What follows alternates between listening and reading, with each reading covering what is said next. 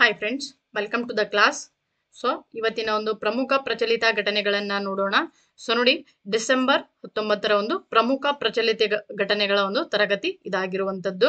So first ಕ್ವಶನ್ಗೆ ಹೋಗೋಣ ನೋಡಿ. ಫಸ್ಟ್ ಕ್ವಶನ್ ಏನಿದೆ ಅಂತ ಕೇಳಿದ್ರೆ, ಭಾರತೀಯ ಲಾಜಿಸ್ಟಿಕ್ ವಲಯವನ್ನ ಹೆಚ್ಚಿಸಲು ಈ ಕೆಳಗಿನ ಯಾವ ಸಂಸ್ಥೆಯು ಇತ್ತೀಚೆಗೆ ನೋಡಿ ಎರಡು ನೂರ ಐವತ್ತು ಮಿಲಿಯನ್ ಅಮೆರಿಕನ್ ಡಾಲರ್ ಒಂದು ನೀತಿ ಆಧಾರಿತ ಸಾಲಕ್ಕೆ ತನ್ನ ಇತ್ತೀಚಿನ ಅನುಮೋದನೆಯನ್ನ ನೀಡಿದೆ. ಸೊ, ಇತ್ತೀಚಿನ ತನ್ನ ಅನುಮೋದನೆಯನ್ನ ನೀಡಿರ್ತಕ್ಕಂತ ಒಂದು ಸಂಸ್ಥೆ ಯಾವುದು ಅಂತ ಕೇಳಿದ್ರೆ, ಸೊ, ಇದಕ್ಕೆ ಸರಿಯಾದ ಆನ್ಸರ್ ಏನಂದ್ರೆ ನೋಡಿ A D B is the right answer Asian development bank ಅಂತ ಕರಿತೀವಿ. ಏಷ್ಯನ್ ಡೆವಲಪ್ಮೆಂಟ್ ಬ್ಯಾಂಕ್ ಇತ್ತೀಚೆಗೆ ನೋಡಿ ಭಾರತೀಯ ಲಾಜಿಸ್ಟಿಕ್ ವಲಯವನ್ನ ಹೆಚ್ಚಿಗೆ ಹೆಚ್ಚಿಸಲು ಅಂದ್ರೆ ಅದನ್ನ ಬಲಪಡಿಸಲು ಇತ್ತೀಚೆಗೆ ಎರಡು ಐವತ್ತು ಮಿಲಿಯನ್ ಅಮೆರಿಕನ್ ಡಾಲರ್ ನೀತಿ ಆಧಾರಿತ ಸಾಲಕ್ಕೆ ಅದು ತನ್ನ ಅನುಮೋದನೆಯನ್ನ ನೀಡಿರುವಂತದ್ದು ಆಗಿರುತ್ತದೆ. ಏಷ್ಯನ್ ಡೆವಲಪ್ಮೆಂಟ್ ಬ್ಯಾಂಕ್ ಅಂತ ಕರಿತೀವಿ. ಸೊ ಇದನ್ನು ತನ್ನ ಅನುಮೋದನೆಯನ್ನ ನೀಡಿರುತ್ತೆ. ಒಟ್ಟು ಎರಡು ನೂರ ಐವತ್ತು ಅಮೆರಿಕ ನೋಡಿ ಮಿಲಿಯನ್ ಡಾಲರ್, ಅಮೇರಿಕನ್ ಡಾಲರ್ ಅಂತ ಕರಿತೀವಿ. ಸೊ ನೋಡಿ, ಇದರ ಬಗ್ಗೆ ಇನ್ಫಾರ್ಮೇಶನ್ ಅನ್ನ ನೋಡೋಣ. ಸೊ ಭಾರತದ ಒಂದು ಲಾಜಿಸ್ಟಿಕ್ ವಲಯವನ್ನ ಬಲಪಡಿಸಲು ಸೊ ಭಾರತದ ಲಾಜಿಸ್ಟಿಕ್ ವಲಯವನ್ನ ಬಲಪಡಿಸಬೇಕು ಅಂತೇಳಿ ಸೊ ಇತ್ತೀಚೆಗೆ ತನ್ನ ಅನುಮೋದನೆಯನ್ನ ನೀಡತಕ್ಕಂಥ ಸಂಸ್ಥೆ ಯಾವುದು ಅಂದ್ರೆ ಅದು ಏಷ್ಯನ್ ಡೆವಲಪ್ಮೆಂಟ್ ಬ್ಯಾಂಕ್ ಅಂತ ಕರೆಯುವಂತದ್ದು ಇನ್ನು ನೆಕ್ಸ್ಟ್ ಕ್ವಶನ್ ಏನಂದ್ರೆ ನೋಡಿ, ಈ ಕೆಳಗಿನ ಯಾವ ಹಣಕಾಸು ಸಂಸ್ಥೆಗಳು ಇತ್ತೀಚೆಗೆ Bajaj Allianz life insurance company ಲಿಮಿಟೆಡ್ನೊಂದಿಗೆ bank ಅಶ್ಯೂರೆನ್ಸ್ಗಾಗಿ ಸಹಯೋಗದ ಒಪ್ಪಂದಕ್ಕೆ ಸಹಿ ಹಾಕಿದೆ. So Bajaj Allianz life insurance company ಲಿಮಿಟೆಡ್ನೊಂದಿಗೆ bank ಅಶ್ಯೂರೆನ್ಸ್ಗಾಗಿ ಒಂದು ಸಹಯೋಗಕ್ಕೆ ಒಪ್ಪಂದವನ್ನ ಮಾಡಿಕೊಂಡಿರ್ತಕ್ಕಂಥ ಇನ್ನೊಂದು ಬ್ಯಾಂಕ್ ಯಾವುದು ಅಂತ ಕೇಳಿದ್ರೆ ಸೊ ಇದಕ್ಕೆ ಸರಿಯಾದ ಆನ್ಸರ್ ಏನಂದ್ರೆ ತಮಿಳುನಾಡು ಮರ್ಕಂಟೈಲ್ ಬ್ಯಾಂಕ್ ಅಂತ ಕರಿತೀವಿ. ಸೊ ಈ ತಮಿಳುನಾಡು ಮರ್ಕಂಟಲ್ ಬ್ಯಾಂಕ್ ಇತ್ತೀಚೆಗೆ Bajaj Allianz life insurance company limited ನೊಂದಿಗೆ ಒಪ್ಪಂದವನ್ನ ಮಾಡಿಕೊಂಡಿರುತ್ತೆ. ಸೊ ಫ್ರೆಂಡ್ಸ್ ನಾನು ಇವಾಗ ಫಸ್ಟ್ ಏನ್ ಹೇಳ್ತಿದ್ದೀನಲ್ಲ, ಈ ರೀತಿಯ ಒಂದು ಎಕನಾಮಿಕ್ ರಿಲೇಟೆಡ್ ಕರೆಂಟ್ ಇವೆಂಟ್ಸ್ ಆಗಿದೆ. ನೋಡಿ ಎಕನಾಮಿಕ್ ರಿಲೇಟೆಡ್ ಇದು ಕರೆಂಟ್ ಇವೆಂಟ್ ಆಗಿರುವಂತದ್ದು ನಾವು ಪದೇ ಪದೇ ಇದನ್ನ ಓದಿದಾಗ ಮಾತ್ರ ನಮ್ಗೆ ನೆನಪಲ್ಲಿ ಉಳಿಯುವಂತದ್ದಾಗಿರುತ್ತೆ ಸೊ ನಾವು ಒನ್ ಒನ್ ಟೈಮ್ ಅಥವಾ ಟೂ ಟೈಮ್ ಕ್ವಿಕ್ ಆಗಿ ಒಂದು ಪಕ್ಷಿ ನೋಟವನ್ನ ನೋಡಿದ್ರೆ ಇದು ನಮ್ಗೆ ಲಾಂಗ್ ಟೈಮ್ ನೆನಪಿರಕ್ಕೆ ಸಾಧ್ಯ ಆಗಿರಲ್ಲ. ಒಂದ್ ಕಡೆ ಕ್ಲಾಸ್ ಆದ್ಮೇಲೆ ನೀವು ಮತ್ತೊಂದ್ಸಲ ಇದನ್ನ ನೋಡಿದ್ರೆ ಅಥವಾ ಪಿ ಡಿ ಅನ್ನ ನಾನು ಟೆಲಿಗ್ರಾಮ್ ಅಲ್ಲಿ ಹಾಕಿರ್ತೀನಿ.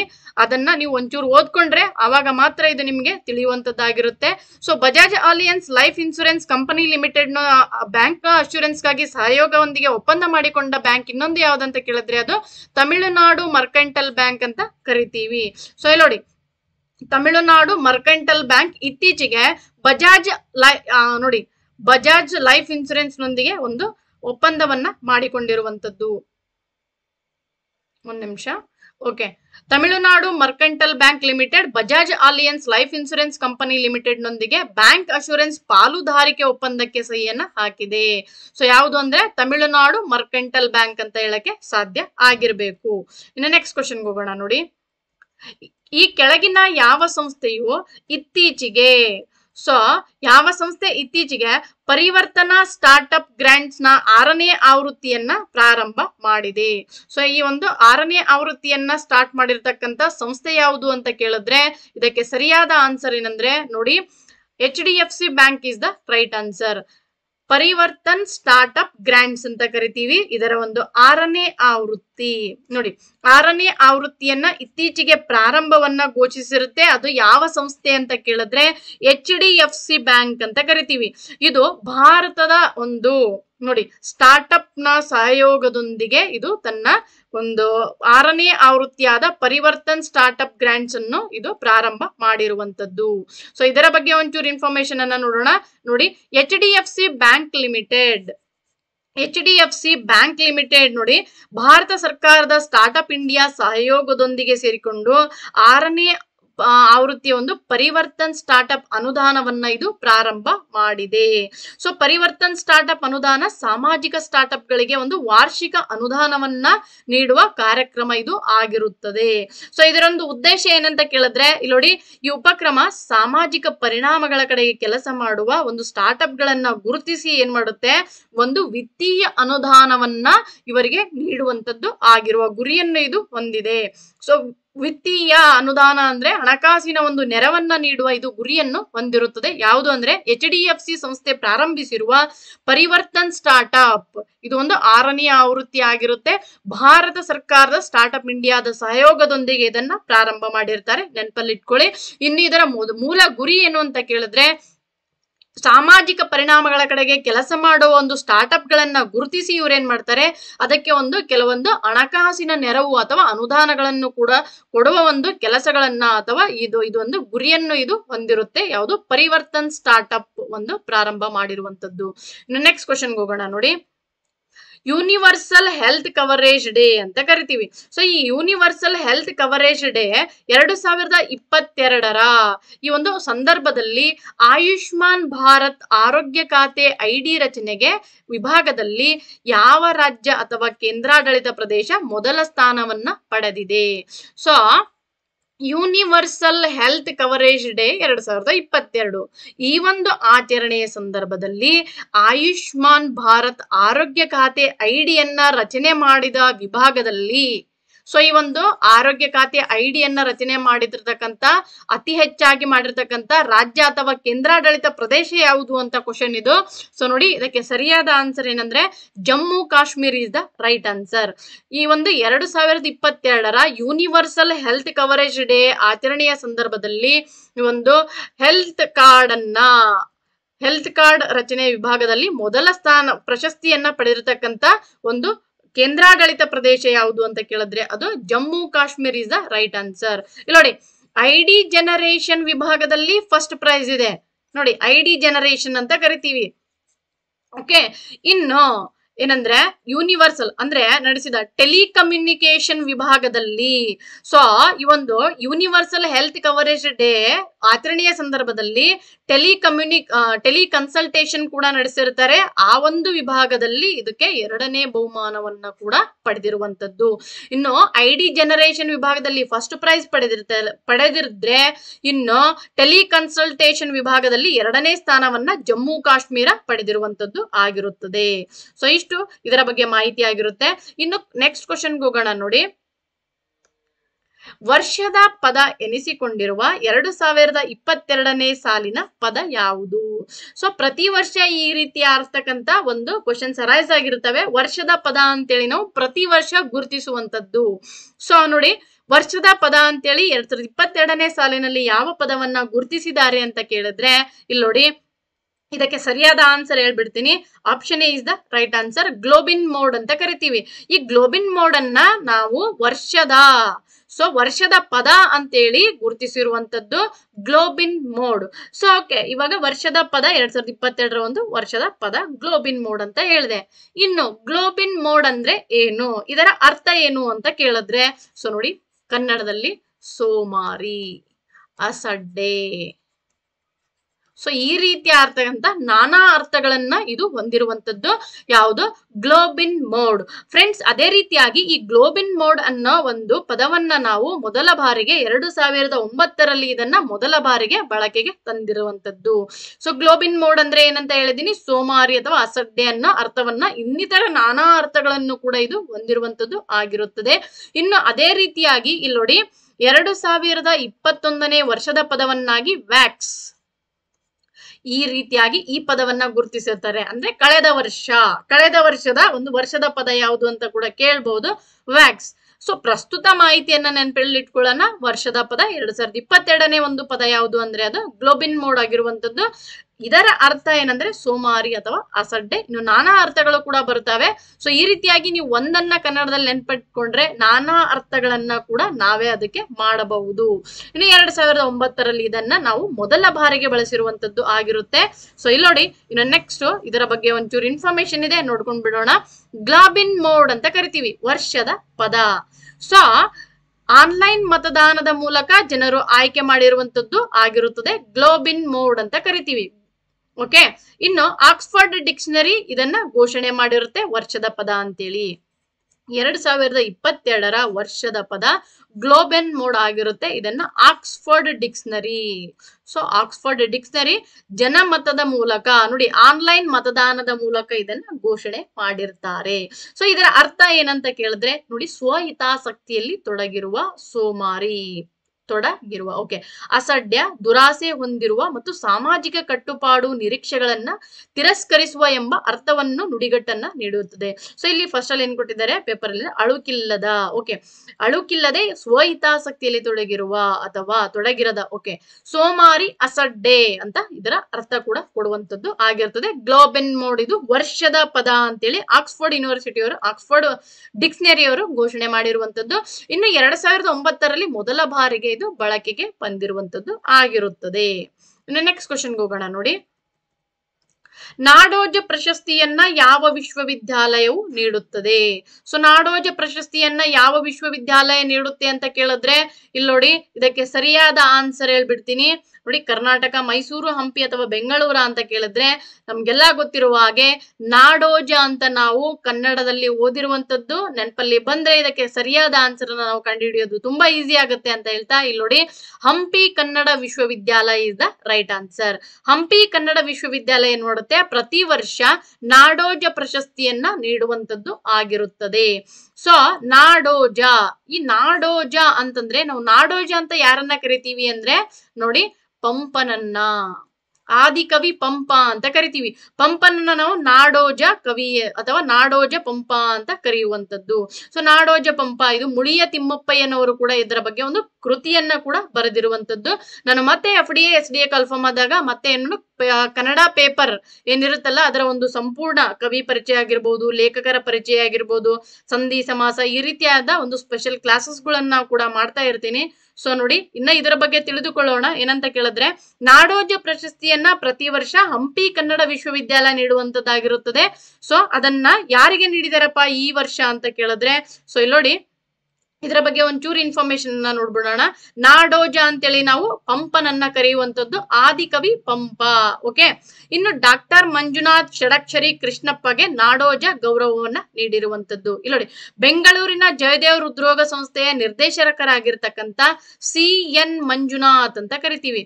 ಸೊ ಸಿ ಎನ್ ಮಂಜುನಾಥ್ ಇವರಿಗೆ ನಾಡೋಜ ಪ್ರಶಸ್ತಿಯನ್ನ ನೀಡಿರೋ, ಇನ್ನು ಸಾಹಿತಿಯಾದ ಕೃಷ್ಣಪ್ಪ ಜಿ ಹಾಗೂ ವಿಶ್ವವಾಣಿ ಅಂಕಣಕಾರ ಹೋಟೆಲ್ ಉದ್ಯಮಿ ಎಸ್ ಷಡಕ್ಷರಿ ಅವರನ್ನ ಪ್ರಸಕ್ತ ಸಾಲಿನ ಹಂಪಿ ಕನ್ನಡ ವಿವಿಯು ನಾಡೋಜ ಗೌರವ ಪದ, ಪದವಿಗೆ ಆಯ್ಕೆಯನ್ನ ಮಾಡಿರುವಂತದ್ದು ಆಗಿರುತ್ತದೆ. ಸೊ ಈ ರೀತಿಯಾಗಿ ಪ್ರತಿ ವರ್ಷ ನಾಡೋಜ ಪ್ರಶಸ್ತಿಯನ್ನ ನೀಡುವಂತದ್ದಾಗಿರುತ್ತದೆ. ಇದನ್ನ ನೋಡು, ನೋಡಿ ತಾವರ್ಚಂದ್ ಗೆಹ್ಲೋಟ್ ಅವರು ಅಂದ್ರೆ ರಾಜ್ಯಪಾಲರು, ಕರ್ನಾಟಕದ ರಾಜ್ಯಪಾಲರಾಗಿರ್ತಕ್ಕಂಥ ತಾವರ್ಚಂದ್ ಗೆಹ್ಲೋಟ್ ಅವರು ಪ್ರದಾನ ಮಾಡುವಂತದ್ದು ಆಗಿರುತ್ತದೆ. ಸೊ ನಾಡೋಜ ಪ್ರಶಸ್ತಿ. ಓಕೆ ಇದನ್ನ ಹಂಪಿ ಕನ್ನಡ ವಿಶ್ವವಿದ್ಯಾಲಯ ನೀಡುತ್ತದೆ. ನೆನಪಲ್ಲಿಟ್ಕೊಳ್ಳಿ ಇನ್ನು ನೆಕ್ಸ್ಟ್ ಕ್ವಶನ್ಗೆ ಹೋಗೋಣ. ವಲಸಿಗ ಸ್ನೇಹಿಗಳ ಶ್ರೇಯಾಂಕದ ಪಟ್ಟಿಯಲ್ಲಿ ಅಗ್ರಸ್ಥಾನದಲ್ಲಿ ಇರುವ ನಗರ ಯಾವುದು? ಸೊ ಪ್ರತಿ ವರ್ಷ, ನೋಡಿ, ಈ ವರ್ಷದ ಒಂದು ವರದಿಯ ಪ್ರಕಾರ ವಲಸಿಗ ಸ್ನೇಹಿಗಳ ಶ್ರೇಯಾಂಕದ ಪಟ್ಟಿಯಲ್ಲಿ ಈ ಒಂದು ಅಗ್ರಸ್ಥಾನದಲ್ಲಿ ಇರತಕ್ಕಂತ ನಗರ ಯಾವುದು ಅಂತ ಕೇಳಿದ್ರೆ ಸೊ ವೆಲೆನ್ಸಿಯಾ ಅಂತ ಕರಿತೀವಿ. ಇದಕ್ಕೆ ಸರಿಯಾದ ಆನ್ಸರ್ ನೋಡಿ option A is the right answer Valencia Spain ದೇಶದ ವೆಲೆನ್ಸಿಯಾ ನೋಡಿ ಸ್ಪೇನ್ನ ವೆಲೆನ್ಸಿಯಾ ಈ ಒಂದು ಶ್ರೇಯಾಂಕದಲ್ಲಿ ಮೊದಲನೇ ಸ್ಥಾನವನ್ನ ಅಂದ್ರೆ ಅಗ್ರ ಸ್ಥಾನದಲ್ಲಿ ಇರುವಂತ ನಗರ ಆಗಿದೆ ವೆಲೆನ್ಸಿಯಾ. ಸೊ ನೆನಪಲ್ಲಿ ಇಟ್ಕೊಳ್ಳಿ ಇನ್ನು ನೋಡಿ ಎರಡನೇ ಸ್ಥಾನದಲ್ಲಿ ಯಾವುದಿದೆ ಅಥವಾ ನಮ್ಮ ನೋಡಿ ದುಬೈ ಯಾವ ಸ್ಥಾನದಲ್ಲಿದೆ ಅಂತ ಒಂಚೂರು ಇನ್ಫಾರ್ಮೇಶನ್ ಇದೆ. ಇದರಲ್ಲಿ ಈ ವಲಸಿಗ ಸ್ನೇಹಿ ನಗರಗಳ ಪಟ್ಟಿಯಲ್ಲಿ ಸ್ಪೇನ್ನ ವೆಲೆನ್ಸಿಯಾ ಮೊದಲ ಸ್ಥಾನದಲ್ಲಿ ಇರುವಂತದ್ದು. ನೋಡಿ, ಹೊಸ ಸಮೀಕ್ಷೆಯ ಪ್ರಕಾರ ಮೂರು ಪ್ರತ್ಯೇಕ ಖಂಡಗಳಲ್ಲಿನ ಮೂರು ವಿಭಿನ್ನ ನಗರ ವಲಸಿಗರು ವಾಸಿಸಲು ಮತ್ತು ಕೆಲಸ ಮಾಡಲು ಉತ್ತಮ ಸ್ಥಳಗಳು ಆಗಿದಾವೆ ಅಂತೇಳಿ ಸಮೀಕ್ಷೆಯಲ್ಲಿ ನೀಡಿರುವಂತದ್ದು. ಅದೇ ರೀತಿಯಾಗಿ ಇಲ್ಲಿ ನೋಡಿ ಫ್ರೆಂಡ್ಸ್ ಏನಂದ್ರೆ ಸ್ಪೇನ್ನ ವೆಲೆನ್ಸಿಯಾ. ಅಂತಾರಾಷ್ಟ್ರೀಯ ವಲಸಿಗರ ನಗರ ಶ್ರೇಯಾಂಕ ಪಟ್ಟಿಯಲ್ಲಿ ಈ ಎರಡನೇ, ಎರಡ್ ಸಾವಿರದ ಇಪ್ಪತ್ತೆರಡರ ಒಂದು ಈ ಸಮೀಕ್ಷೆಯಲ್ಲಿ ಅಗ್ರಸ್ಥಾನದಲ್ಲಿ ಇರುವಂತದ್ದು ಇನ್ನು ನೋಡಿ, ಜೀವನ ಗುಣಮಟ್ಟ, ಸಾರ್ವಜನಿಕ ಸಾರಿಗೆ, ಕ್ರೀಡಾ ಅವಕಾಶಗಳಿಗಾಗಿ ಈ ನಗರ ಗಮನವನ್ನ ಸೆಳೆಯಿರು ಸೆಳೆದಿರುವಂತದ್ದು ಇನ್ನು ಎರಡನೇ ಸ್ಥಾನದಲ್ಲಿ ದುಬೈ ಇದೆ. ದುಬೈ ಎರಡನೇ ಸ್ಥಾನದಲ್ಲಿ ಇರುವಂತದ್ದು. ಅದೇ ರೀತಿಯಾಗಿ ಮೆಕ್ಸಿಕೋ. ಮೆಕ್ಸಿಕೋ ಮೂರನೇ ಸ್ಥಾನದಲ್ಲಿ ಇರುವಂತದ್ದು ಈ ವಲಸಿಗ ನಗರ ಸ್ನೇಹಿ ನಗರಗಳ ಪಟ್ಟಿಯಲ್ಲಿ. ಸೊ ಇಲ್ಲಿ ನೋಡಿ ಬ್ಯಾಂಕಾಕ್ ಏನಿದೆ? ಆರನ ಆರನೇ ಸ್ಥಾನದಲ್ಲಿದ್ರೆ ಇನ್ನು ಸಮತೋಲನದ ಕಾರಣದಿಂದಾಗಿ ಎಂಟನೇ ಸ್ಥಾನದಲ್ಲಿದ್ದು ಯಾವುದು? ಮೆಲ್ಬೋರ್ನ್ ಎಂಟನೇ ಸ್ಥಾನದಲ್ಲಿದೆ. ಆಸ್ಟ್ರೇಲಿಯಾದು ಇನ್ನು ಸಿಂಗಾಪುರ್ ಟಾಪ್ ಟೆನ್ ಅಲ್ಲಿ ಇರುವಂತದ್ದು ಸಿಂಗಾಪುರ್. ಸೊ ನೆನಪಲ್ಲಿ ಇಟ್ಕೊಳ್ಳಿ. ದುಬೈ ಎರಡನೇ ಸ್ಥಾನದಲ್ಲಿದೆ. ಸೊ ವಲಸಿಗ ಸ್ನೇಹಿ ನಗರಗಳ ಪೈಕಿ ಸ್ಪೇನ್ನ ವೆಲೆನ್ಸಿಯಾ ನಗರ ಮೊದಲ ಸ್ಥಾನದಲ್ಲಿ ಇದೆ. ಸೊ ಈ ರೀತಿಯಾಗಿ ಈ ಒಂದು ಕ್ವಶನ್ಗೆ ಒಂಚೂರು ಇನ್ಫಾರ್ಮೇಶನ್ ಆಗಿರುತ್ತೆ. ಇನ್ನು ನೆಕ್ಸ್ಟ್ ಕ್ವಶನ್ಗೆ ಹೋಗೋಣ ನೋಡಿ. ಇತ್ತೀಚೆಗೆ ಯಾವ ಸಂಸ್ಥೆಯು ಸಮುದ್ರದ ಅಲೆಗಳಿಂದ ವಿದ್ಯುತ್ ಉತ್ಪಾದಿಸುವ ತಂತ್ರಜ್ಞಾನವನ್ನ ಅಭಿವೃದ್ಧಿಪಡಿಸಿದ್ದಾರೆ. Friends this is so important for our upcoming examination ನೋಡಿ, ಇತ್ತೀಚೆಗೆ ಯಾವ ಸಂಸ್ಥೆ ಈ ಒಂದು ಸಮುದ್ರದ ಅಲೆಗಳಿಂದ ವಿದ್ಯುತ್ ಉತ್ಪಾದಿಸುವ ಒಂದು ತಂತ್ರಜ್ಞಾನವನ್ನ ಅಭಿವೃದ್ಧಿಪಡಿಸಿರ್ತಾರೆ ಇತ್ತೀಚೆಗೆ? ಅದು ಯಾವ ಸಂಸ್ಥೆ ಅಂತ ಕೇಳಿದ್ರೆ, ಇಲ್ಲಿ ನೋಡಿ, I I T Madras is the right answer I I T Madras. Indian Institute of Technology Madras ಆಗಿರುವಂತದ್ದು ಇವರು ಇತ್ತೀಚೆಗೆ ಏನ್ ಮಾಡಿರ್ತಾರೆ, ಒಂದು ಹೊಸ ಟೆಕ್ನಾಲಜಿಯನ್ನ ಕಂಡು, ತಂತ್ರಜ್ಞಾನವನ್ನ ಅಭಿವೃದ್ಧಿಪಡಿಸಿದ್ದಾರೆ ಅದು ಏನಪ್ಪಾ ಅಂತ ಕೇಳಿದ್ರೆ, ಇವಾಗ ಸಮುದ್ರದಲ್ಲಿನ ಅಲೆಗಳನ್ನ, ಸೊ ಅಲೆಗಳಿಂದ ಅವರು ವಿದ್ಯುತ್ತನ್ನ ಉತ್ಪಾದಿಸುವ ತಂತ್ರಜ್ಞಾನವನ್ನ ಅಭಿವೃದ್ಧಿಪಡಿಸಿದ್ದಾರೆ ಐ ಐ ಟಿ ಮದ್ರಾಸ್ ಸಂಸ್ಥೆಯವರು. ಸೊ ಇಲ್ಲಿ ನೋಡಿ, ಇದೇನ್ ಮಾಡುತ್ತೆ ಅಂತ ಕೇಳಿದ್ರೆ ಪ್ರತಿಷ್ಠಿತ ನೋಡಿ, ಈ ರೀತಿಯಾದ ಒಂದು ಅಲೆಗಳು ಸಮುದ್ರದಲ್ಲಿ ಬರುವಂತದ್ದು ತಾವನ್ನೆಲ್ಲ ನೋಡಿರ್ತೀರಿ. ಈ ರೀತಿಯಾದ ಅಲೆಗಳಿಂದ ವಿದ್ಯುತ್ ಉತ್ಪಾದನೆ, ವಿದ್ಯುತ್ನ ಉತ್ಪಾದನೆ ಮಾಡೋ ಒಂದು ತಂತ್ರಜ್ಞಾನವನ್ನ ಇತ್ತೀಚೆಗೆ Indian Institute of Technology Madras ಸಂಶೋಧಕರು ಸಮುದ್ರದ ಅಲೆಗಳಿಂದ ವಿದ್ಯುತ್ ಉತ್ಪಾದಿಸುವ ಉಪಕರಣವನ್ನ ಅಭಿವೃದ್ಧಿಪಡಿಸಿದ್ದು, ಅದನ್ನ ಪ್ರಾಯೋಗಿಕ ಪರೀಕ್ಷೆಗಾಗಿ ನೋಡಿ ತೂತುಕುಡಿ ಕರಾವಳಿಯಲ್ಲಿ ಏನ್ ಮಾಡಿರ್ತಾರೆ? ಅಳವಡಿಸಿರುವಂತದ್ದು ಆಗಿರುತ್ತದೆ. ಇನ್ನು ಸಾಗರದ ಅಲೆಗಳನ್ನ ವಿದ್ಯುತ್ ಆಗಿ ಪರಿವರ್ತಿಸುವ ಉಪಕರಣಕ್ಕೆ ಸಿಂಧುಜಾ ಐ ಎಂಬ ಹೆಸರನ್ನು ಇವರು ಇಟ್ಟಿದ್ದಾರೆ. ಸೊ ಇಲ್ಲಿ ನೋಡಿ, ಏನಂದ್ರೆ ಸಾಗರದ ಅಲೆಗಳಿಂದ ಯಾವ ರೀತಿಯಾಗಿ ನೋಡಿ ಮೋಟಾರ್ ಮತ್ತೆ ಡೈನಮೋ ತಾವೆಲ್ಲ ಓದಿರ್ತೀರಿ ಬೇಸಿಕ್ ಸೈನ್ಸ್ ಅಲ್ಲಿ ಅದೇ ರೀತಿಯಾಗಿ ಇನ್ನು ಇಲ್ಲಿ ವಿದ್ಯುತ್ ಅಲೆಗಳಿಂದ ಏನು ಸಾರಿ ಸಮುದ್ರದ ಅಲೆಗಳಿಂದ ಯಾವ ರೀತಿಯಾಗಿ ವಿದ್ಯುತ್ತನ್ನ ಕನ್ವರ್ಟ್ ಮಾಡ್ತಾರೆ ಅವರು, ವಿದ್ಯುತ್ತನ್ನಾಗಿ ಅಂತ ಕೇಳಿದ್ರೆ ಸೊ ಅದಕ್ಕೆ ಅವ್ರು ಏನ್ ಹೆಸರಿಟ್ಟಿದ್ದಾರೆ ಅಂದ್ರೆ, ಸಿಂಧುಜಾ ಐ ಅಂತ ಹೆಸರಿಟ್ಟಿದ್ದಾರೆ. ಸಿಂಧುಜಾ ಐ. ನೋಡಿ, ಸಮುದ್ರದ ಅಲೆಗಳಿಂದ ತಯಾರಿಸಲ್ಪಟ್ಟ ಒಂದು ವಿದ್ಯುತ್ ಅನ್ನ ಅವರು ಸಿಂಧುಜಾ ಐ ಅಂತ ಕರೆಯುವಂತದ್ದು ಆಗಿರುತ್ತದೆ. ಸೊ ಇಷ್ಟು ಇದರ ಬಗ್ಗೆ ಮಾಹಿತಿ ಆಗಿರುತ್ತೆ. ಅಂದ್ರೆ ಸಮುದ್ರದ ಅಲೆಗಳಿಂದ ಮೊದಲ ಬಾರಿಗೆ ಒಂದು ವಿದ್ಯುತ್ ಅನ್ನ ತಯಾರಿಸುವ ತಂತ್ರಜ್ಞಾನವನ್ನ ಇವರು ಕಂಡುಹಿಡಿದಿರ್ತಾರೆ. ಐ ಐ ಟಿ ಮದ್ರಾಸ್ ಸಂಶೋಧಕರು. ನೆನಪಲ್ಲಿ ಇಟ್ಕೊಳ್ಳಿ. ನೆಕ್ಸ್ಟ್ ಕ್ವಶನ್ ಹೋಗೋಣ ನೋಡಿ. ಸಿಟಿ ಆಫ್ ಜಾಯ್ ಪುಸ್ತಕದ ಲೇಖಕರು ಯಾರು? ಸಿಟಿ ಆಫ್ ಜಾಯ್ ಈ ಒಂದು ಪುಸ್ತಕವಾದ ಲೇಖಕರು ಯಾರು ಅಂತ ಕೇಳಿದ್ರೆ ಸೊ ಡೊಮಿನಿಕ್ ಲೇಪಿಯರ್ ಅಂತ ಕರಿತೀವಿ. ಡೊಮಿನಿಕ್ ಲೇಪಿಯರ್ ಫ್ರಾನ್ಸ್ನ ಒಂದು ಖ್ಯಾತ ಲೇಖಕರು ಇವರಾಗಿರ್ತಾರೆ. ಇತ್ತೀಚೆಗೆ ಇವರು ನಿಧನವನ್ನ ಹೊಂದಿರ್ತಾರೆ. ಯಾರಂದ್ರೆ ಡೊಮಿನಿಕ್ ಲೇಪಿಯರ್ ಫ್ರಾನ್ಸ್. ಭಾರತದೊಂದಿಗೆ ಭಾವನಾತ್ಮಕ ಸಂಬಂಧವನ್ನ ಹೊಂದಿರತಕ್ಕಂತ ಇವರು ಇತ್ತೀಚೆಗೆ ವಿಧಿವಶವನ್ನ ಹೊಂದಿದ್ದು, ಇವರು ಬರ್ತಕ್ಕಂಥ ಬರೆದಿರ್ತಕ್ಕಂತ ಒಂದು one of the book books ಯಾವುದು ಅಂತ ಕೇಳಿದ್ರೆ ಅದು ಸಿಟಿ ಆಫ್ ಜಾಯ್ ಆಗಿರುತ್ತದೆ. ಸೊ ಇಲ್ಲಿ ನೋಡಿ. ಫ್ರೆಂಚ್ ಲೇಖಕ ಡೊಮಿನಿಕ್ ಲೇಪಿಯರ್ ವಿಧಿವಶ. ಭಾರತದ ಜೊತೆ ಒಂದು ಭಾವನಾತ್ಮಕ ಸಂಬಂಧವನ್ನ ಕೂಡ ಹೊಂದಿರ್ತಾರೆ. ಸೊ ಹೆಸರಾಂತ ಫ್ರೆಂಚ್ ಲೇಖಕರಾಗಿರ್ತಕ್ಕಂಥ ಡೆಮಿನಿಕ್ ಲೇಪಿಯರ್ ಅವರು ವಿಧಿವಶ ಆಗಿರ್ತಾರೆ. ಇನ್ನು ನೋಡಿ ಲೇಪಿಯರ್. ಒಟ್ಟು ಇವರು ಯಾರಂದ್ರೆ ಲೇಖಕ ಲಾರಿ ಕಾಲಿನ್ಸ್ ಜೊತೆಗೂಡಿ ಬರೆದ ಆರು ಕೃತಿಗಳು, ಒಟ್ಟು ಐವತ್ತು ದಶಲಕ್ಷ ಪ್ರತಿಗಳು ಮಾರಾಟ ಆಗಿರ್ತವೆ ಇವರು. ದಾಖಲೆಯನ್ನು ಕೂಡ ಇದು ಬರೆದಿರುತ್ತೆ. ಸೊ ಇನ್ನು ಎರಡನೆಯ ಪ್ರಪಂಚ ಮಹಾಯುದ್ಧದ ಅಂದ್ರೆ ಸೆಕೆಂಡ್ ವರ್ಲ್ಡ್ ವಾರ್ ಅಂತ ಕರಿತೀವಿ. ಈ ಒಂದು ವೇಳೆ ಸಾವಿರದ ಒಂಬೈನೂರ ನಲವತ್ನಾಲ್ಕರಲ್ಲಿ ಫ್ರೆಂಚ್ನ ರಾಜಧಾನಿಯಾಗಿರ್ತಕ್ಕಂಥ ಪ್ಯಾರಿಸ್ನಿಂದ ಜರ್ಮನಿಯ ನಾಜಿ ಪಡೆಗಳು ಕಾಲ್ತೆಗೆದ ಪ್ರಸಂಗದ ಕಥೆಯುಳ್ಳ is Paris burning. So is Paris burning ಅನ್ನೋದು ಕೂಡ ಇವರ ಒಂದು ಕೃತಿ ಆಗಿರುತ್ತೆ. ಸೊ ಈ ಕೃತಿ ಮುಂದೆ ಚಲನಚಿತ್ರ ಆಗಿ ಕೂಡ ಜನಪ್ರಿಯವನ್ನ ಹೊಂದಿರುತ್ತೆ. ಸೊ ಲೇಪಿಯರ್ ಮತ್ತೊಂದು ಅಪೂರ್ವ ಕೃತಿಯನ್ನ ಭಾರತದ ಕಲ್ಕತ್ತಾ ನಗರದ ರಿಕ್ಷಾವಾಲನ ಕಥೆಯುಳ್ಳ ಸಿಟಿ ಆಫ್ ಜಾಯ್ಗೆ ಜನರಿಂದ ವ್ಯಾಪಕ ಸ್ಪಂದನೆಯನ್ನು ಕೂಡ ವ್ಯಕ್ತ ಆಗಿರುವಂತದ್ದು ಸೊ ಸಿಟಿ ಆಫ್ ಜಾಯ್ ಇದು ನೋಡಿ ಕಲ್ಕತ್ತಾ. ಸೊ ಕಲ್ಕತ್ತಾ ನಗರದ ಒಂದು ರಿಕ್ಷಾವಾಲನ ಕಥೆಯುಳ್ಳ ಕೃತಿಯಾಗಿರುತ್ತೆ.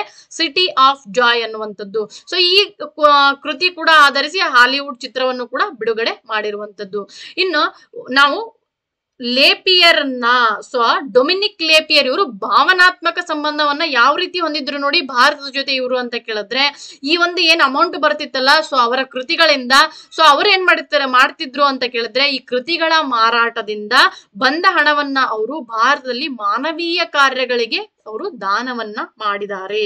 ಸೊ ಇದು ನಮ್ಗೆ ಎಕ್ಸಾಮ್ಗೆ ಇಂಪಾರ್ಟೆಂಟ್ ಕ್ವಶನ್ ಆಗೋ ಚಾನ್ಸಸ್ ಇರುತ್ತೆ. ಒಂದ್ ಕಡೆ ಬರ್ದಿಟ್ಕೊಳ್ಳಿ ಫ್ರೆಂಚ್ ಲೇಖಕ ಡೋಮಿಯನ್ ಡೊಮಿನಿಕ್ ಲೇಪಿಯರ್ ಅಂತ ಕರಿತೀವಿ. ಇವರು ತಮ್ಮ ಕೃತಿಗಳ ಮಾರಾಟದಿಂದ ಬಂದ ಹಣವನ್ನ ಭಾರತದಲ್ಲಿ ನೋಡಿ ಮಾನವೀಯ ಕಾರ್ಯಗಳಿಗೆ ದಾನವನ್ನ ಮಾಡಿರುವಂತದ್ದು. ಡೊಮೆನಿಕ್ ಅಂತ ಕರಿತೀವಿ. ಇನ್ನು ಲಕ್ಷಾಂತರ ಕ್ಷಯರೋಗಿಗಳನ್ನು ಕೂಡ ಈ ಹಣದಿಂದ ಗುಣಮುಖರಾಗಿರಿಸಿರ್ತಾರೆ. ಸೊ ತಮಗೆ ಸಾರ್ಥಕತೆ ತಂದಿದೆ ಅಂತೇಳಿ ಅವರು ಕೂಡ ಲೇಪಿಯರ್ ಹೇಳಿಕೊಂಡಿರ್ತಾರೆ ತಮ್ಮ ಒಂದು ಜೀವನದಲ್ಲಿ. ಸೊ ಇವರು ಯಾವ ರೀತಿಯಾಗಿ ಭಾರತದ ಜೊತೆ ಭಾವನಾತ್ಮಕ ಸಂಬಂಧ ಹೊಂದಿದ್ರು ಮತ್ತೆ ಇವರು ಸಿಟಿ ಆಫ್ ಜಾಯ್, ಇದು ಕಲ್ಕತ್ತಾದ ರಿಕ್ಷಾವಾಲನ ಕಥೆಯಾಗಿರ್ತಕ್ಕಂಥದ್ದು, ಇದು ಹಾಲಿವುಡ್ ಚಿತ್ರವೂ ಕೂಡ ಆಗಿ ಕಂಡು ಬಂದಿರುತ್ತೆ. City of joy. Next question ಹೋಗೋಣ ನೋಡಿ. ಪ್ರಧಾನಮಂತ್ರಿ ಜನೌಷಧಿ ಮಳಿಗೆಗಳ ಸಂಖ್ಯೆಯಲ್ಲಿ ಯಾವ ರಾಜ್ಯವು ಮೊದಲ ಸ್ಥಾನವನ್ನ ಹೊಂದಿದೆ? ಸೊ ನೋಡಿ ಜನರಿಕ್ ಮೆಡಿಷನ್ ಪ್ರಧಾನಮಂತ್ರಿ ಜನೌಷಧಿ ಮಳಿಗೆಗಳ ಸಂಖ್ಯೆಯಲ್ಲಿ ಯಾವ ರಾಜ್ಯ ಒಂದು ಅಗ್ರಸ್ಥಾನವನ್ನ ಹೊಂದಿದೆ ಅಂತ ಕೇಳಿದ್ರೆ, ಸೊ ಸಂಖ್ಯೆಯಲ್ಲಿ ಅಂತ ಕೇಳಿದ್ರೆ ಇನ್ ದ ಸೆನ್ಸ್ ನೋಡಿ, ಈಗ, ಆ ಸಾವಿರ ಅಂದ್ರೆ ಸುಮ್ನೆ ಒಂದು ರೇಂಜ್ ಅಲ್ಲಿ ಹೇಳ್ತಿರ್ತೀನಿ ನೋಡಿ. ಒಂದು ಸಾವಿರ ಒಂದು ಜನೌಷಧಿ ಕೇಂದ್ರಗಳಿದಾವೆ ಅಂತ ಕೇಳಿದ್ರೆ ಅತಿ ಹೆಚ್ಚಾಗಿ ಎಲ್ಲೂ ಕಂಡು ಬಂದಿದಾವೆ. ಸೊ ಅತಿ ಹೆಚ್ಚು ಎಲ್ಲಿದಾವೆ ಅಂತ ಕೇಳಿದ್ರೆ ಅದು ಉತ್ತರ ಪ್ರದೇಶ ರೈಟ್ ಆನ್ಸರ್ ಈ ರೀತಿ ಆಗಿರ್ತಕ್ಕಂಥದ್ದು ಇನ್ನು ಪ್ರಧಾನಮಂತ್ರಿ ಜನೌಷಧಿ ಮಳಿಗೆಗಳ ಸಂಖ್ಯೆಯಲ್ಲಿ ಯಾವ ರಾಜ್ಯ ಮೊದಲ ಸ್ಥಾನದಲ್ಲಿ ಅಂದ್ರೆ ಇದು ಉತ್ತರ ಪ್ರದೇಶ, ಇನ್ನು ತದನಂತರ ಉತ್ತರ ಪ್ರದೇಶದ ನಂತರದಲ್ಲಿ ಯಾವ ರಾಜ್ಯ ಇದೆ ಅಂತ ಕೇಳಿದ್ರೆ ಅದು ಕರ್ನಾಟಕ. ನೋಡಿ. ನಮ್ಮ ಕರ್ನಾಟಕದಲ್ಲಿ ಎರಡನೇ ಅತಿ ಹೆಚ್ಚು ಪ್ರಧಾನಮಂತ್ರಿ ಜನೌಷಧಿ ಮಳಿಗೆಗಳು ಕಂಡು ಕಂಡು ಬರ್ತವೆ. ತಾವೆಲ್ಲ ಜನರಿಕ್ ಮೆಡಿಸಿನ್ ಪ್ರಧಾನಮಂತ್ರಿ ಜನೌಷಧಿ ಮಳಿಗೆಗಳಿಗೆ ಒಂದು ವಿಸಿಟ್ ಮಾಡಿದ್ರೆ ತಮಗೂ ಕೂಡ ಇದರ ಬಗ್ಗೆ ಮಾಹಿತಿ ಇರುವಂತದ್ದು ಆಗಿರುತ್ತದೆ. ಸೊ ಇಲ್ಲಿ ನೋಡಿ. ಪ್ರಧಾನಮಂತ್ರಿ ಜನವಸತಿ ಯೋಜನೆ. ನಮ್ಮ ರಾಜ್ಯಕ್ಕೆ ಎರಡನೇ ಸ್ಥಾನ. ಸೊ ಇದರ ಮೊದಲನೇ ಸ್ಥಾನದಲ್ಲಿ ಉತ್ತರ ಪ್ರದೇಶ ಇರುವಂತದ್ದು. ಭಾರತದ ಪ್ರತಿಯೊಂದು ರಾಜ್ಯ ಮತ್ತು ಕೇಂದ್ರಾಡಳಿತ ಪ್ರದೇಶಗಳಲ್ಲಿ ಬಡ ಮತ್ತೆ ಹಿಂದುಳಿದ ಅಥವಾ ಮಧ್ಯಮ ವರ್ಗದವರಿಗೆ ರಿಯಾಯಿತಿ ದರದಲ್ಲಿ. ಸೊ ರಿಯಾಯಿತಿ ದರದಲ್ಲಿ. ರಿಯಾಯಿತಿ ದರದಲ್ಲಿ ಒಂದು ಮೆಡಿಸನ್ ಅನ್ನ ಏನು ಮಾರಾಟ ಮಾಡುವಂತದ್ದು ಆಗಿರುತ್ತದೆ. ಸೊ, ಔಷಧಿಗಳು ಮತ್ತು ಶ- ಶಸ್ತ್ರಚಿಕ್ ಚಿಕಿತ್ಸೆಯ ಪರಿಕರಗಳನ್ನು ಒದಗಿಸುವ ನಿಟ್ಟಿನಲ್ಲಿ ಪ್ರಧಾನಮಂತ್ರಿ ಜ, ಭಾರತೀಯ ಜನೌಷಧಿ ಯೋಜನೆ ಅತ್ಯುತ್ತಮವಾಗಿ ಜಾರಿಯಾಗಿದ್ದು, ಇನ್ನು ಈವರೆಗೆ ರಾಜ್ಯದಲ್ಲಿ ಸಾವಿರದ ಐವತ್ತೆರಡು ಜನೌಷಧಿ ಮಳಿಗೆಗಳನ್ನು ಕೂಡ ತೆರೆಯಲಾಗಿದೆ. ಸೊ, ಒಟ್ಟಾರೆಯಾಗಿ ಸಾವಿರದ ಐವತ್ತೆರಡು ಜನೌಷಧಿ, ನೋಡಿ, ಪ್ರಧಾನಮಂತ್ರಿ ಜನೌಷಧಿ ಮಳಿಗೆಗಳು ನಮ್ಮ ರಾಜ್ಯದಲ್ಲಿ ಕಂಡು ಬಂದಿರುವಂತದ್ದು ಇನ್ನು ಎರಡನೇ ಸ್ಥಾನದಲ್ಲಿ ಕರ್ನಾಟಕ ಇದ್ರೆ ಮೊದಲನೇ ಸ್ಥಾನದಲ್ಲಿ ಉತ್ತರ ಪ್ರದೇಶ ಇದೆ, ಮೂರನೇ ಸ್ಥಾನದಲ್ಲಿ ಕೇರಳ ಇರುವಂತದ್ದು ಸೊ ನೋಡಿ ಕೇರಳ. ಈ ಒಂದು ಜನೌಷಧಿ ಮಳಿಗೆಗಳ ಸಂಖ್ಯೆಯಲ್ಲಿ ಕೇರಳ ಮೂರನೇ ಸ್ಥಾನದಲ್ಲಿ ಇರುವಂತದ್ದು ಆಗಿರುತ್ತದೆ. ಸೊ ಫ್ರೆಂಡ್ಸ್ ನೋಡಿ ಇನ್ನು ಗ್ರಾಮೀಣ ಭಾಗದಲ್ಲಿ ಇವು ಇನ್ನು ಏನು ಓಪನ್ ಆಗಿರೋದಿಲ್ಲ. ಸೊ ನಾವು ಟೌನ್ ಟೌನ್ ಲೆವೆಲ್ ಈ ರೀತಿಯಾಗಿರ್ತಕ್ಕಂಥ ಪ್ರಧಾನಮಂತ್ರಿ ಜನೌಷಧಿ ಕೇಂದ್ರಗಳಿದಾವೆ. ಸೊ ಇನ್ನು ಅವುಗಳನ್ನ ಗ್ರಾಮೀಣ ಭಾಗದಲ್ಲಿ ಹೆಚ್ಚಿನ ಮಳಿಗೆಗಳನ್ನು ಕೂಡ ತೆರೆಯಲು ರಾಜ್ಯ ಸರ್ಕಾರ ಕಾರ್ಯೋನ್ಮುಖಿ ಆಗಿರುವಂತದ್ದು ಆಗಿರುತ್ತದೆ. ಸೊ ಒಟ್ಟಾರೆಯಾಗಿ ಹೇಳ್ಬೇಕಂದ್ರೆ ಪ್ರಧಾನಮಂತ್ರಿ ಜನೌಷಧಿ ಯೋಜನೆಗಳ ಪೈಕಿ ಈ ಒಂದು ಅತಿ ಹೆಚ್ಚು ಪ್ರಧಾನಮಂತ್ರಿ ಜನೌಷಧಿ ಮಳಿಗೆಗಳು ಎಲ್ಲಿ ಕಂಡು ಬರ್ತವೆ ಅಂದ್ರೆ ಅದು ಉತ್ತರ ಪ್ರದೇಶ ಅದರ ಒಂದು ಸ್ಥಾನದಲ್ಲಿ, ಮೊದಲನೇ ಸ್ಥಾನದಲ್ಲಿದ್ರೆ ಕರ್ನಾಟಕ ಎರಡನೇ ಸ್ಥಾನದಲ್ಲಿರುವಂತದ್ದು ಕೇರಳ ಮೂರನೇ ಸ್ಥಾನದಲ್ಲಿ ಇದೆ. ಸೊ ಇದನ್ನ ನೆನಪಲ್ಲಿಟ್ಕೊಳ್ಳಕ್ಕೆ ಸಾಧ್ಯ ಆಗಿರಬೇಕು. ಸೊ ಇಷ್ಟು ಇವತ್ತಿನ ಒಂದು ಪ್ರಮುಖ ಪ್ರಚಲಿತ ಘಟನೆಗಳಾಗಿರ್ತಾವೆ. ಸೊ ನೋಡಿ, ನಮ್ಮ ಟೆಲಿಗ್ರಾಮ್ ಗ್ರೂಪ್ ಕೂಡ ಇದೆ. ಜರ್ನಿ ಟುವರ್ಡ್ಸ್ ಸಕ್ಸಸ್ ಅಂತೇಳಿ ತಾವೆಲ್ಲ ಜಾಯ್ನ್ ಆಗಿ ಇದರ ಪಿ ಡಿ ಎಫ್ ನೋಟ್ಸ್ಗಳನ್ನು ಕೂಡ ಪಡೆದುಕೊಳ್ಳಿ ಅಂತ ಹೇಳ್ತಾ ಸೊ ನಿಮ್ಮ ಅನಿಸಿಕೆಗಳನ್ನ ಕಮೆಂಟ್ ಬಾಕ್ಸ್ ಮುಖಾಂತರ ತಿಳಿಸಿಕೊಡಿ. ಮತ್ತೆ ಕ್ಲಾಸ್ ಇಷ್ಟ ಆದ್ರೆ ಲೈಕ್ ಮಾಡಿ, ಸಬ್ಸ್ಕ್ರೈಬ್ ಆಗಿ ಮತ್ತೆ ನಿಮ್ಮ ಫ್ರೆಂಡ್ಸ್ಗೂ ಕೂಡ ಶೇರ್ ಮಾಡಿ. ತಪ್ಪದೆ ಟೆಲಿಗ್ರಾಮ್ ಗ್ರೂಪ್ಗೆ ಜಾಯ್ನ್ ಆಗಿ ನನ್ನ ಕ್ಲಾಸಸ್ ಬಗ್ಗೆ ಆಗ್ಲಿ ಅಥವಾ ಇದರ ಒಂದು ಎಲ್ಲ ನೋಟ್ಸ್ಗಳು ಕೂಡ ಅಲ್ಲಿ ಎಟ್ ಎ ಟೈಮ್ ಒಂದೇ ವೇದಿಕೆಯಲ್ಲಿ ಸಿಗುವಂತದ್ದಾಗಿರುತ್ತದೆ. ಸೊ ಇಷ್ಟೇಳಿ ಇವತ್ತಿನ ಕ್ಲಾಸ್ ಅನ್ನ ಮುಗಿಸ್ತಾ ಇದ್ದೀನಿ. ನೆಕ್ಸ್ಟ್ ವಿಡಿಯೋದಲ್ಲಿ ಮತ್ತೆ ಒಂದು ಜಿಯೋಗ್ರಫಿ ಕ್ಲಾಸ್ ಆಗಿರ್ಬೋದು. ಸೊ ಅಥವಾ ಹಿಸ್ಟ್ರಿ ಕ್ಲಾಸಸ್ನ ಕೂಡ ಸ್ಟಾರ್ಟ್ ಮಾಡೋಣ. ಆಸ್ ಸೂನ್ ಆಸ್ ಅಂತ ಹೇಳ್ತಾ ಇವತ್ತಿನ ಕ್ಲಾಸ್ ಅನ್ನ ಮುಗಿಸ್ತಾ ಇದ್ದೀನಿ. Thank you so much